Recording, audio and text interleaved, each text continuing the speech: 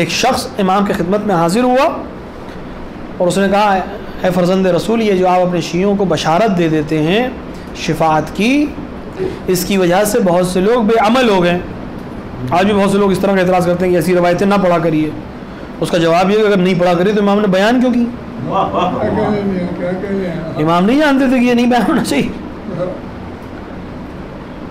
इमाम ने जब बयान किया है तो उसका मतलब है कि वो बयान हो सकती हैं।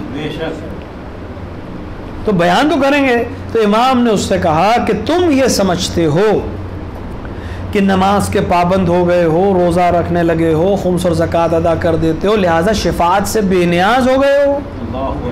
यानी तुम्हारे जहन में ये है कि जो गुनाहगार है उसको शिफात की ज़रूरत है। तुम तुम्हें शिफात की ज़रूरत नहीं है क्योंकि तुम नमाज़ और रोज़े के पाबंद हो। यकीन रखो कि रोज़े मैशर तमाम अम्बिया मेरे जद की शिफात के मोहताज हैं। मोहम्मद वाले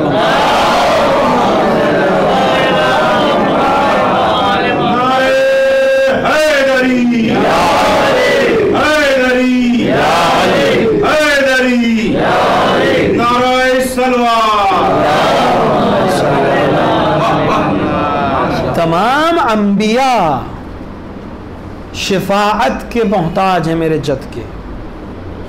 ये नहीं है कि सिर्फ़ गुनाहगार अम्बिया तो गुनाह आजन बिल्ला गुनाह का तो शायबा भी नहीं उनके वो भी मोहताज हैं शिफात रसूल के और आल मोहम्मद की शिफात के। उनको भी वहाँ ज़रूरत पड़ेगी। मकाम रसूल अकरम। ये मकाम जो है जिसके मोहताज हैं अम्बिया उसके फर्जंद हैं आप हुसैन इबन अली। इस फर्जंद को हम सलाम कर रहे हैं कि इस मकाम नबूवत पे फायज नबी को अगर दुनिया में अब पहचाना जा रहा है, उसका कलमा पढ़ा जा रहा है तो आपकी वजह से पढ़ा जा रहा है। हुसैन इबन अली की वजह से पढ़ा जा रहा है। चाहे वो अधूरा कलमा हो, चाहे पूरा कलमा हो। अगर वो मोहम्मद रसूलुल्लाह कह रहा है तो वो हुसैन इबन अली के सदक़े में कह रहा है।